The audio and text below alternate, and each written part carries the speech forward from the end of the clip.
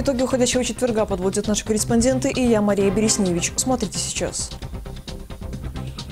О настоящем и будущем председатель Горсовета депутатов встретился с работниками ТАИМа. Рассказать ту позицию, которая прозвучала со стороны президента Республики Беларусь. О чем еще говорили? Свобода или здоровье? Эпидемиологи продолжают проверять тех, кто обязан находиться в самоизоляции. Здравствуйте. Центр гигиены и эпидемиологии и милиция проверяем самоизоляцию. Что грозит нарушителям? Азбука безопасности. МЧС завершила республиканскую акцию. Что нужно делать в случае, а, не дай бог, пожара, а, ну и чего, не, чего нельзя делать для того, чтобы не допустить беды. Куда на этот раз заглянули спасатели. А также антиковидная вакцина, опасные долгострои и прощая легенда. Ушел из жизни актер Андрей Мягков. Какими ролями запомнился народный артист.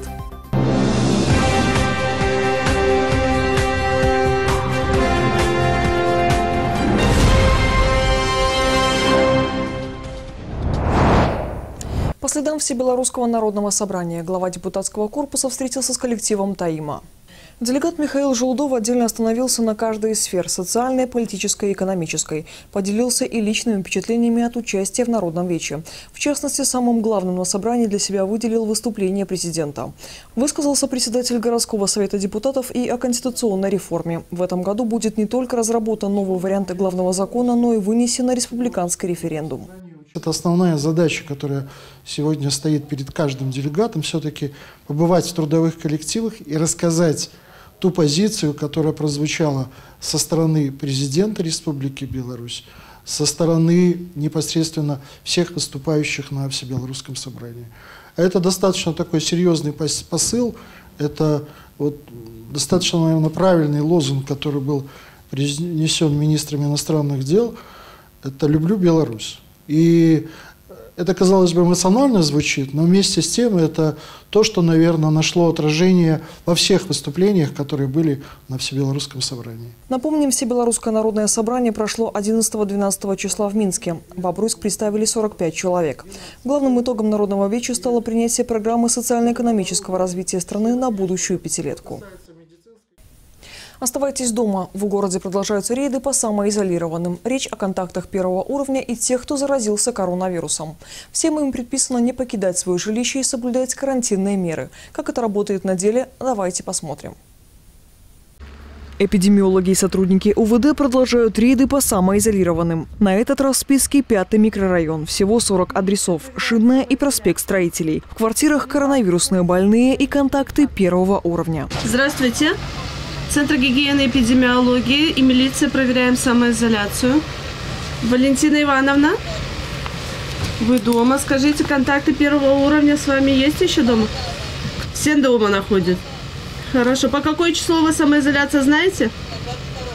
По 22. Хорошо, спасибо большое. Будьте Выздоравливайте, здоровы. до свидания. К контактам первого уровня, напомним, относятся те, кто имел тесное общение с инфицированными за 4 дня до проявления симптомов COVID-19 у последних и в течение 10 после. Сам же термин «тесный контакт» подразумевает взаимодействие людей друг с другом в течение 15 минут на расстоянии менее 1 метра без использования маски. В таком случае заболевшие и контакт подлежат обязательной самоизоляции. Срок 10 дней. Люди имеют право посещать ближайший магазин, ближайшую аптеку, выносить мусор, выгуливать собаку 500 метров вокруг дома. Все необходимо делать в маске и в перчатках. При нарушении правил самоизоляции предусмотрен штраф до 50 базовых величин, а это 1450 рублей, а также неполная оплата больничного листа. Могут наложить и административный арест, ведь речь идет о безопасности окружающих. Как показывает практика, нарушители есть, но это скорее исключение, нежели правило.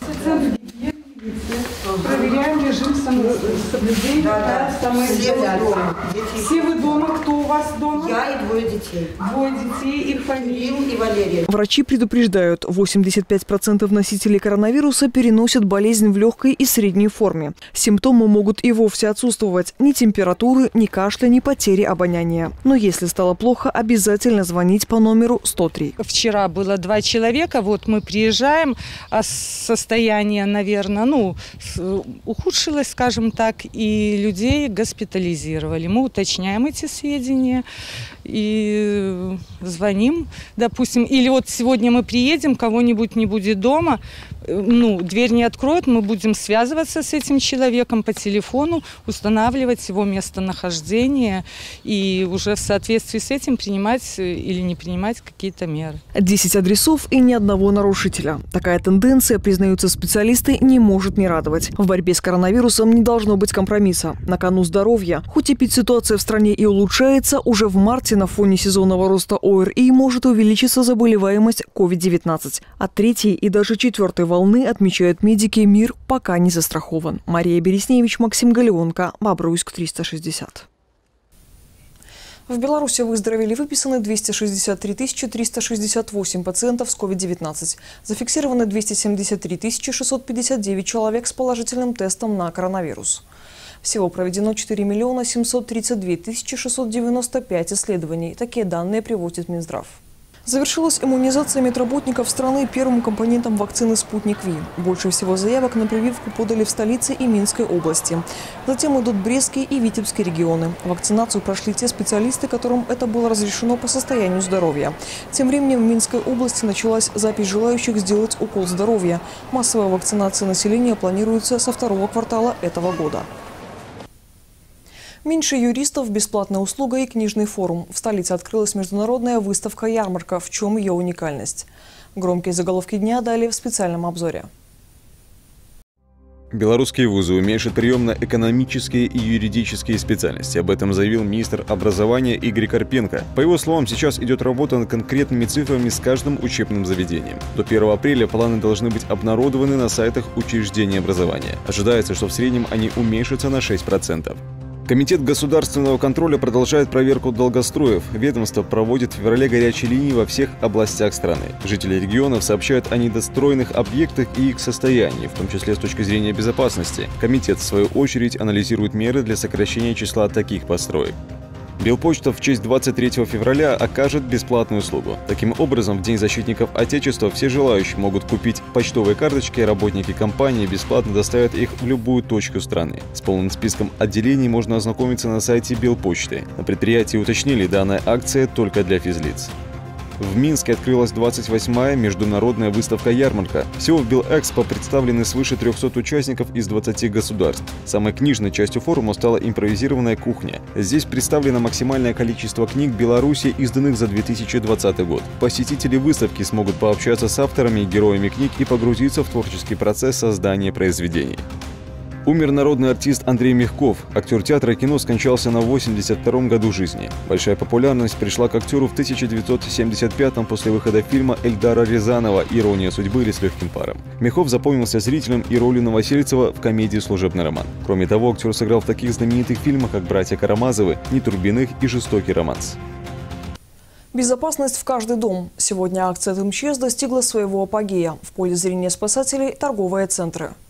Этот этап пятый по счету. Интерактивная площадка расположилась на Минской 133. Здесь любой желающий смог стать участником викторины за правильные ответы и сувениры, плюс нужный багаж безопасных знаний. Люди-то разные приходят в торговый центр, поэтому здесь у нас и э, безопасность детская, и безопасность для взрослых, которая связана с печным отоплением, с безопасностью электропроводки, необходимостью установки извещателей пожарных. Э, детям напоминаем также о безопасности, что нужно делать в случае, э, не дай бог, пожара, ну и чего, не, чего нельзя делать для того, чтобы не допустить беды. Напомним, акция стартовала 18 января. Главное – привлечь внимание горожан к проблеме пожаров. Неосторожное обращение с огнем – самая распространенная причина ЧП. Кроме того, статистика свидетельствует, более половины происшествий возникают по вине людей, которые безответственно отнеслись к выполнению правил пожарной безопасности.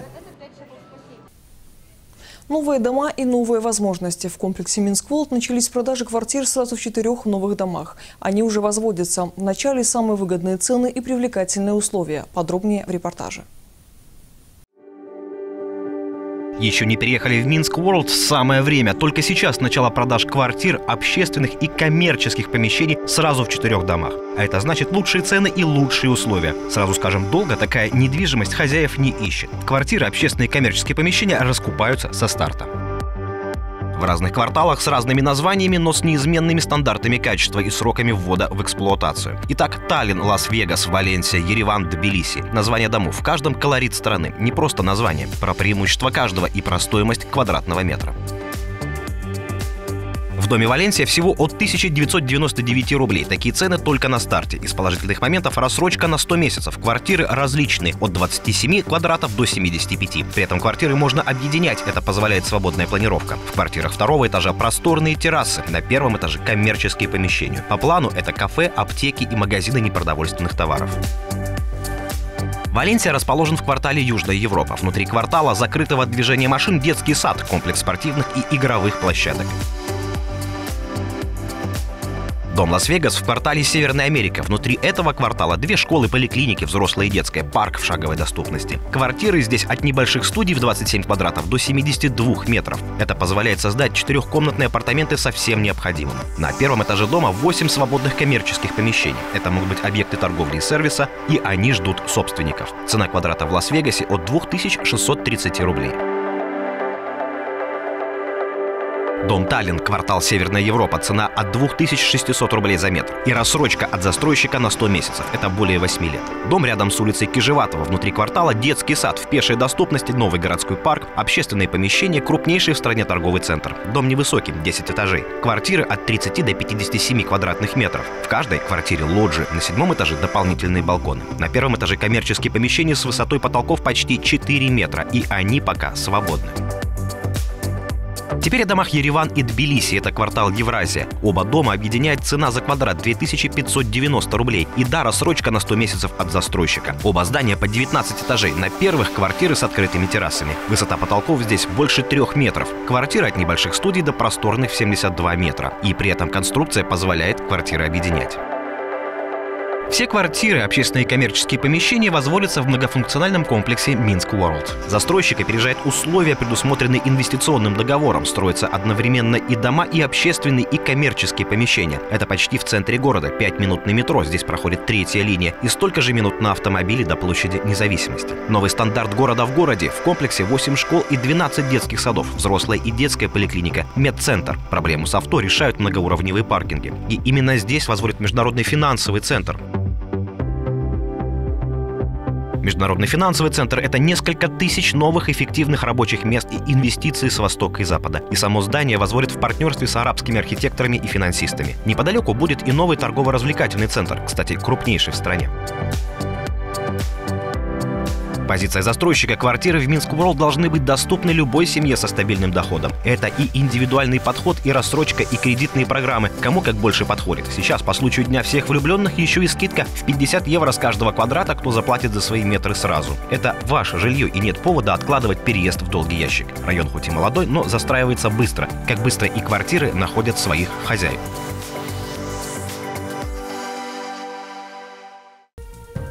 Это все и события к этой минуте. Смотрите нас в интернете и соцсетях. Мы в эфире каждый будний вечер. Счастливо.